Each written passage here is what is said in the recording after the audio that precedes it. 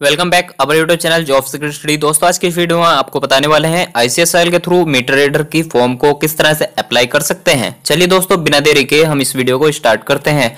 दोस्तों चैनल पर नए हैं तो चैनल को सब्सक्राइब करके बेल आइकन को प्रेस कर दीजिएगा, ताकि आने वाली वीडियो नोटिफिकेशन आपको मिलता रहे।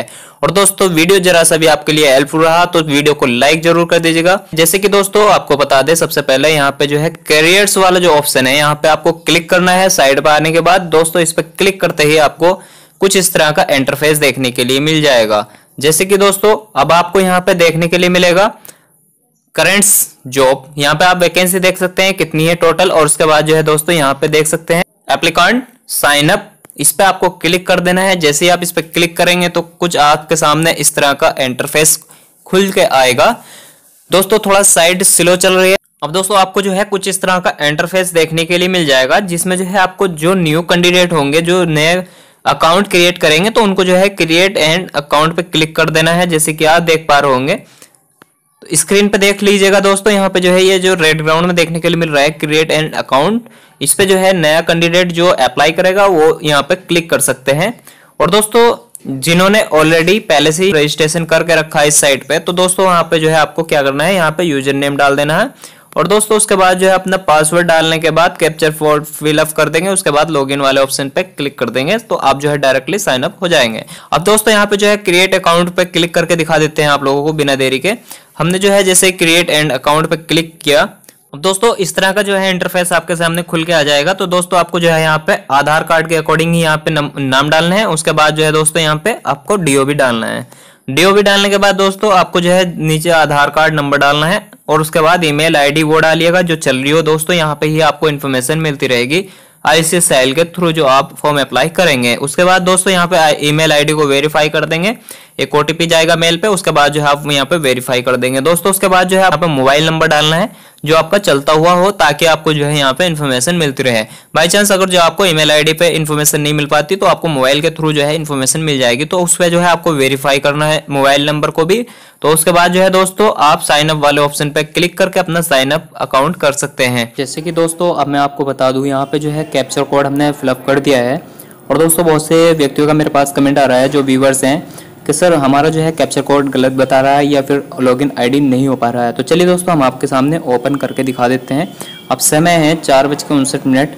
तो चलिए दोस्तों, जैसे कि अभी यहाँ पे कैप्चर कोड गलत बता दिया है तो दोस्तों पैसेंस बनाए रखने की ज़रूरत है और यहाँ पे जो है आपका फॉर्म अप्लाई हो जाएगा। अगर किसी वजह से नहीं हो पा रहा है तो आप मुझे बता दीजिएगा, मुझे मेल कर लीजिएगा।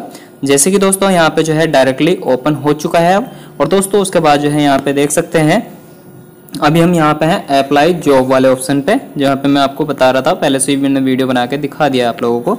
और दोस्तों, अब मैं आपको बता दूँ, यहाँ पे जो है, देख सकते हैं, ये रहा field officer field supervisor purely on contract base की जॉब है यहाँ पे। और दोस्तों, आप जो है यहाँ पे डायरेक्टली जो है यहाँ पे ऑप्शन दे रखा है, देख सकते हैं अप्लाई वाला जॉब वाला।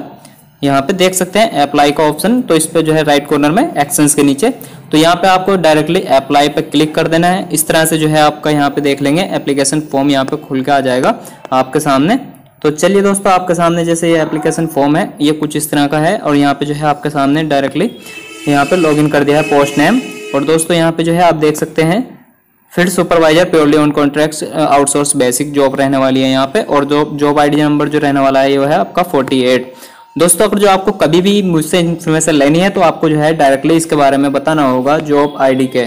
तो दोस्तों, ये जॉब आईडी जो है, आपको यहाँ पर प्रोवाइड करा दी गई है आईसीएसएल के थ्रू जो जिस एडवर्टाइजमेंट के माध्यम से आपका फॉर्म अप्लाई हो रहा है।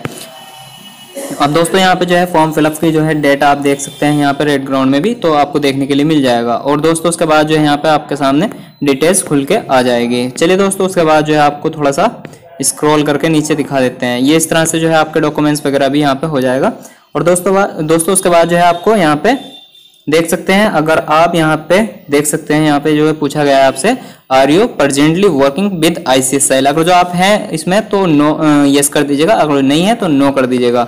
अधिकांश मेरे अकॉर्डिंग जो है मेरे व्यूवर्स के माध्यम से मुझे लग रहा है नहीं होंगे। तो दोस्तों आपको नो ही रहने देना है। और दोस्तों उसके बाद जो है आपको यहाँ पे टिक मार जहाँ पे ये रेड ग्राउंड में दिखाई दे रहा है, यहाँ पे बॉक्स पे टिक कर देना है, जैसे कि हम आपके सामने करके दिखाने वाले हैं। दोस्तों उसके बाद जैसे यहाँ पे हो जाएगा तो आपको सबमिट वाले ऑप्शन पे कर देना है क्लिक सबमिट जैसे होगा तो यहाँ पे देख सकते हैं दोस्तों, अभी this page is not working दोस्तों ये साइट अभी काम नहीं कर रही है तो थोड़ा पेशेंस बनाए रखिएगा। उसके बाद जैसे ही फॉर्म अप्लाई होना शुरू हो जाएगा, या तो कोई व्यक्ति मुझे बता दीजिएगा और किसी का हो जाएगा तो अन्यथा मैं जो हूँ आपको वीडियो बना के आपको अपलोड कर दूँगा। और दोस्तों, उसके बाद जो है आप फॉर्म अप्लाई कर सकते हैं। चलिए दोस्तों, आज के लिए बस नहीं मिलते हैं फिर नेक्स्ट टॉपिक के साथ। तब तक के लिए थैंक्स फॉर वॉचिंग वीडियो